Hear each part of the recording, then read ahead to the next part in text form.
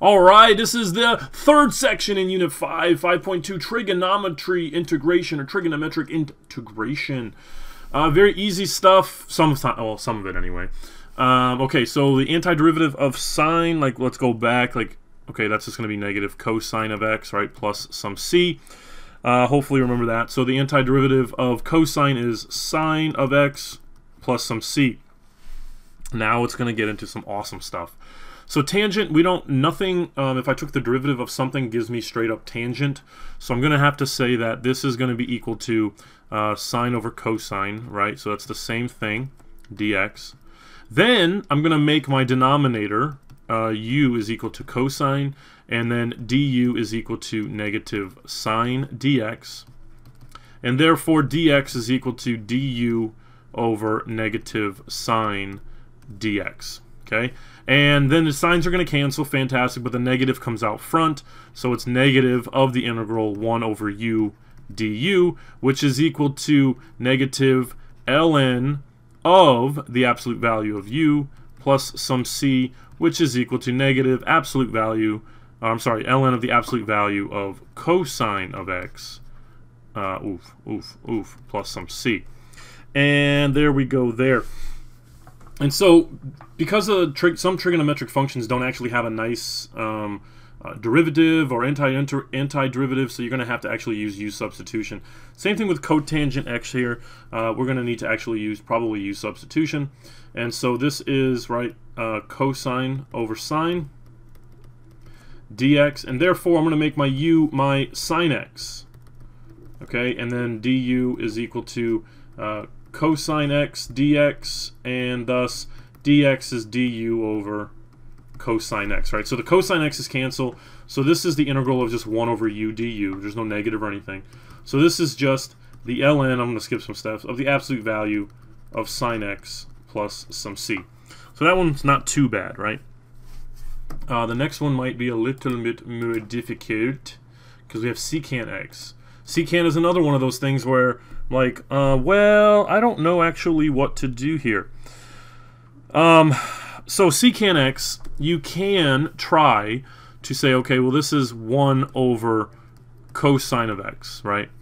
And you can try to say u is cosine of x, but du is equal to negative sine, and and that's not going to work out too nicely because then I'm going to have a sine in there and stuff like that. So we might need to use some of our uh, trigonometric uh, properties here. I'm sorry, I'm just looking at like fantasy football right now. Okay, and some some trigonometric identities from last year is what I can do is I can take this integral and leave it as secant oops secant of x, but I'm going to multiply it by um, something that is the same thing. Okay, so I'm going to multiply it by secant of x plus tangent of x to the top and the bottom. Now you might be like, well, why am I doing this? Well, I'm doing this because I can, really, but I'm also going to do this because, um, remember, secant squared plus secant tan is going to be equal to something, right? Secant squared is equal to something, and secant tan is probably a nice little derivative of, oh, I don't know, maybe uh, secant, right? So I'm doing that for a reason. Um, you kind of pick and choose what you want to do. Uh, next one, when we get to cosecant over here, we'll do some other stuff, but I don't expect you to like memorize this. I don't expect you to do this um, perfectly right now, especially these crazy trigonometric. Later on this year, when we get into integration by parts, uh, we're going to do it differently. Okay, we're going to pick secant and cosecant. We're going to do a lot differently. So don't worry too much about this right now, but it's kind of a good process to kind of go through. Uh, so this is equal to the equal to the integral of secant squared x plus secant x tan x. Okay, over uh, secant x plus tan x, right? And that's all dx. Okay? Um, and so therefore, I'm going to say u is equal to my secant x plus tan x.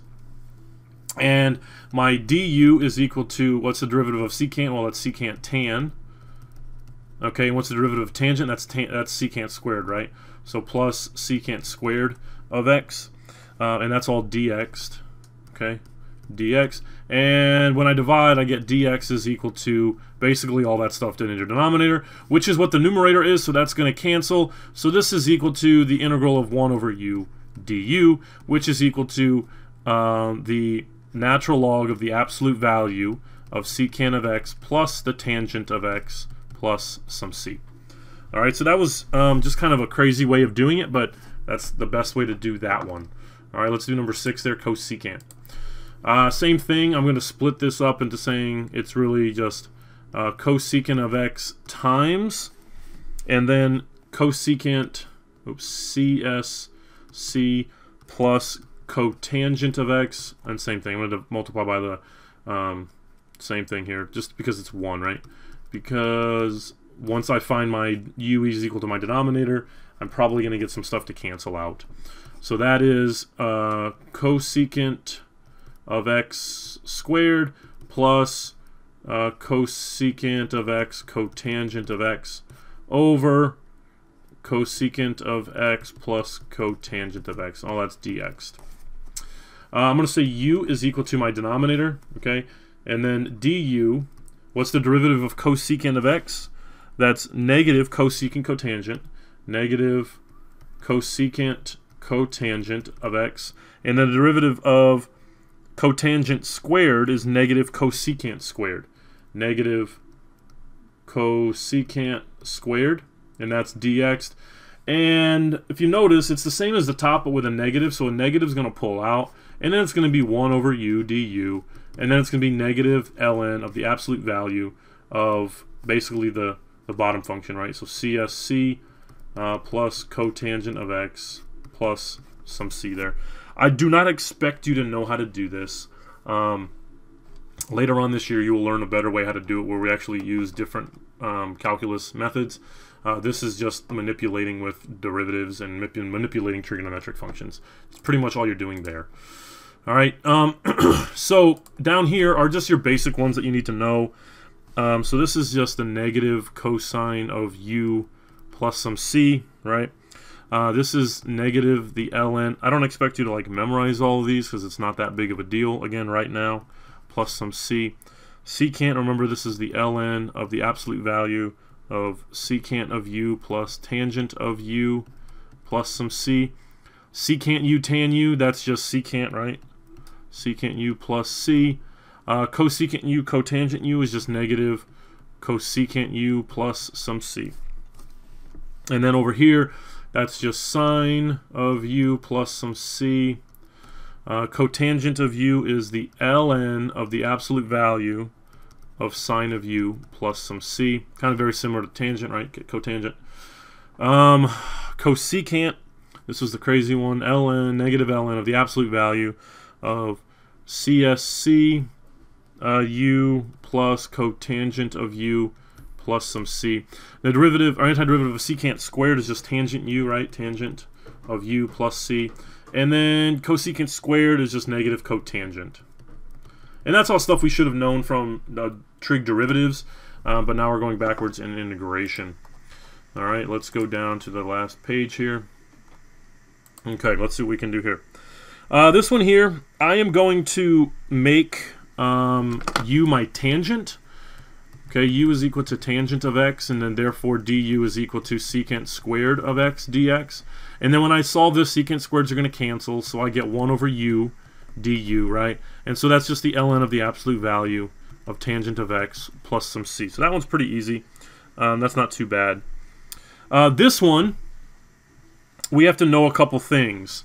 Uh, if we actually do look at this here, okay, I know that that should be equal to secant squared. We know a, a Pythagorean identity is 1 plus tangent squared is equal to secant squared of x. So that's something we need to know. Just like sine squared plus cosine squared is equal to 1. Same thing here. This is another Pythagorean identity. And thus, this is the same as saying the square root of secant squared of x dx, which is the same thing as saying it's the um, integral of secant of just x because the squared and the square root right cancel and that's one of our identities from up top uh, from up top which is the um, the ln of the absolute value of secant of x plus tangent of x plus some c. And again, I don't expect you to memorize those. It's not that big of a deal to do that, but it's still nice to know.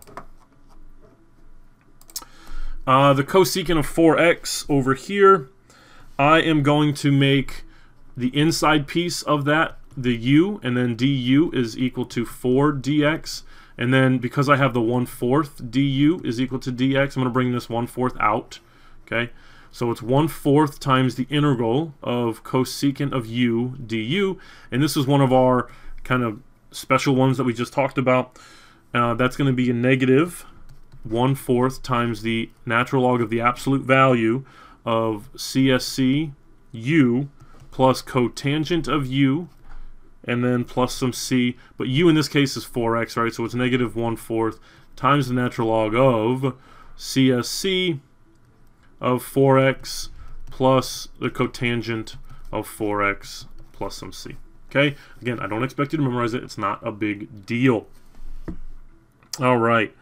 Average value of a function, okay? We talked about this, I believe, in the last unit. Um, average value is 1 over b minus a from a to b of the function uh, f of x dx, right? And so we're going to say, okay, from 0 to pi over 4, so it's from pi over 4 minus 0, that's just pi over 4, okay? From 0 to pi over 4 of, just in this case, it's tangent of x dx. Okay, we know that the antiderivative of tangent of x is negative, negative abs or ln of the absolute value of cotan cosine of x. I'm sorry.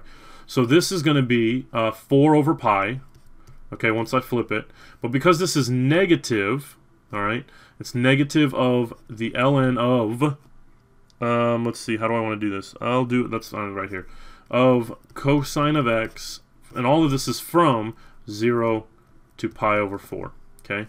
So then, therefore, I get negative 4 over pi times the ln of the absolute value of cosine of pi over 4. What's cosine of pi over 4? That's root 2 over 2. Okay, which I don't really need absolute values because that is, you know, positive. Um, minus uh, the ln of cosine of 0 is 1, and ln of 1 is 0, so minus 0. Okay, so that's equal to just negative 4 times the ln of uh, root 2 over 2, and all of that's over pi. So that's one way we can write it. We can write it different ways, but that's fine right there. Okay, hopefully you understood the average value from the last unit because we're applying it again. All right, that's it for this video for this section. On to the next one. Deuces.